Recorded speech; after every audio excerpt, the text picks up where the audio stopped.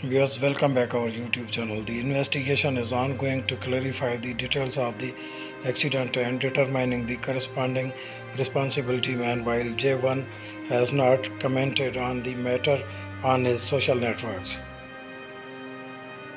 Santo Domingo in a tragic incident that occurred this morning in Santo Domingo. Urban artist Yeldry Vicente better known as Jey One, has been allegedly linked to an accident in which a motorcyclist lost his life.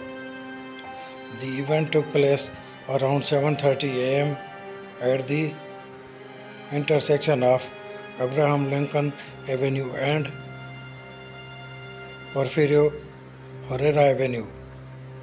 The DIGESETT seized a pink Mercedes AMG C63, the same vehicle that the artist has been seen on social media.